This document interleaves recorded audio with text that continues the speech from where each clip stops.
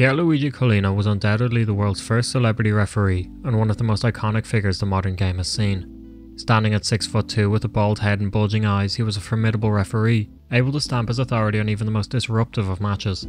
His formidable figure even saw him listed on the Times top 50 hardest footballers, despite not even being a footballer himself. His iconic look also saw him grace the cover of both Pro Evolution Soccer 3 and 4, and was an unlockable character in rival video game FIFA 05. But it wasn't just video games where Collina was featured. His celebrity status even saw him appear in multiple advertisements worldwide for products ranging from cars to beer. And despite retiring as a referee over 15 years ago, his name remains relevant amongst football fans and players alike. None of these were the norm for referees of the time, and we are yet to see another referee rise to such stature. But how did Collina become such a prominent figure in football, and what was it that made him such an icon? Born in Bologna in 1960, Collina played football at a local level while attending school, ultimately graduating with a degree in economics in 1984. While playing at that local level, he was persuaded to take a refereeing course in 1977, where he discovered he had a natural aptitude for the job. He puts his natural aptitude for refereeing down to a strict upbringing, which taught him to appreciate the rules.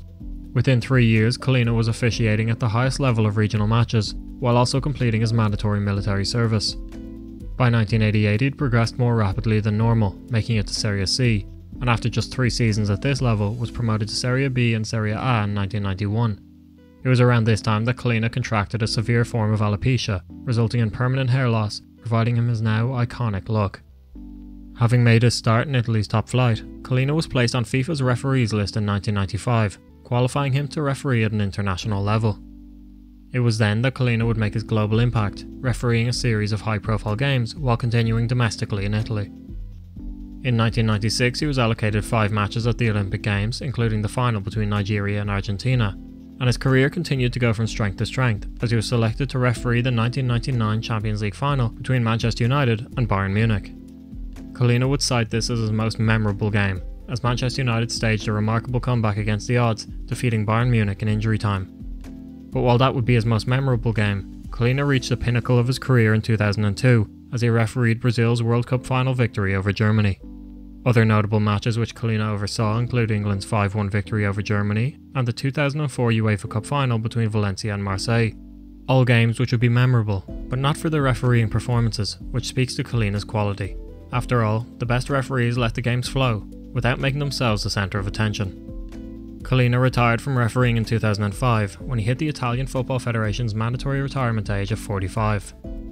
But plenty of referees have made it to a similar level before and since, and have left far less of an impression than the Italian. So, what was different about Collina? For one, he was a very objective character. He wouldn't be swayed by the occasion or the player in front of him. Whether it was Edgar Davids or Duncan Ferguson, there was little point in arguing with the Italian, whose strict upbringing saw him become a stickler for the rules. After showing players that their pleas would go nowhere, he would explain to them his reasoning firmly and fairly. He didn't get every decision right, no referee can, but for fans of a sport where players routinely attempt to surround and intimidate referees, his approach was a breath of fresh air. But maybe more importantly, he was the right man at the right time. Collina was present as football exploded to a new level across Europe. During the 90s, Serie A was the most popular league in Europe, attracting all of the top playing talent, resulting in high viewership around the world. As one of the top ranking officials with such an iconic look, it's no surprise that Collina stood out as more people than ever became engrossed in the sport. On top of this, there are few countries which dissect and critique the refereeing performances as much as they do in Italy.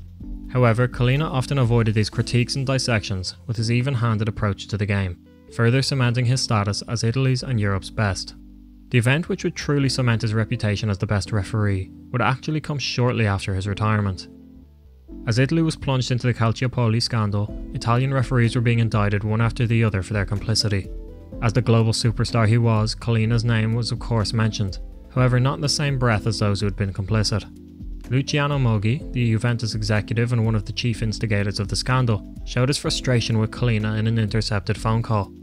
He claimed that Collina was too objective and should be punished for not bending to his will.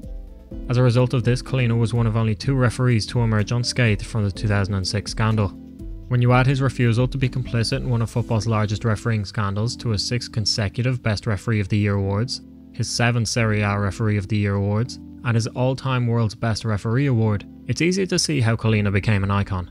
On top of these accolades, he was the first referee to be inducted into the Italian Football Hall of Fame when it was started in 2011, and he was such a good referee that the Italian Football Federation even raised the mandatory retirement age to 46, just to allow Collina one more year. However, this was where his popularity and celebrity status would go against him. Having already graced the cover of PES 3 and 4, Collina was handed a sponsorship deal by Opel, who at the time were also sponsors of AC Milan. This deal would be seen as a conflict of interest, and therefore he would not be allowed to referee top flight matches in Italy, leading to Collina handing in his resignation.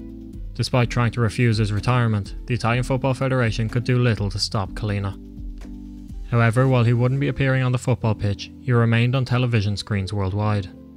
Collina has appeared in World Cup advertisements for MasterCard and Visa, and a beer advertisement for Serbian brand MB Pivo. Collina was immensely popular in Turkey as well, as Turkish teams never lost when he oversaw their games, and as a result he starred in advertisements for Turkish GSM operator Aria.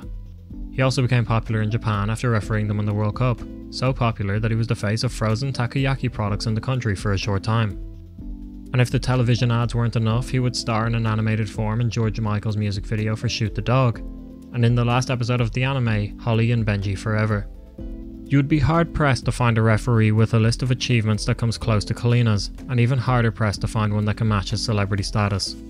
From his rapid progression to the top flight and his continued presence on some of football's most iconic stages, to his iconic look and inability to feel pressure, Collina was truly one of a kind. He stood strong in the face of pervasive corruption, cementing his own legacy in the process. And whether another celebrity referee comes along, there is little doubt that Collina is the best we've seen, and maybe the best we ever see.